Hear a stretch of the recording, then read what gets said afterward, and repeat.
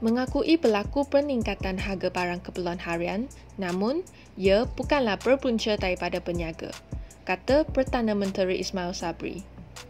Naib Presiden AMNO itu sebalik berkata, ia adalah disebabkan kos yang ditanggung di berbagai peringkat rantaian bekalan sebelum sampai kepada peniaga. Justeru, beliau berkata, Kementerian Pertanian dan Industri Makanan, MAFI dan Kementerian Perdagangan Dalam Negeri dan Hal Ehwal Pengguna, KPDN HEP perlu bekerjasama untuk mencari jalan penyelesaian.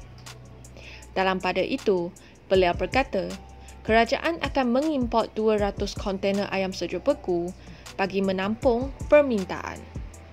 Ia bagi membolehkan rakyat mendapat bekalan pada harga lebih rendah berbanding ayam segar tempatan. Bekalan tersebut dijangka berada di pasaran selewat-lewatnya minggu depan.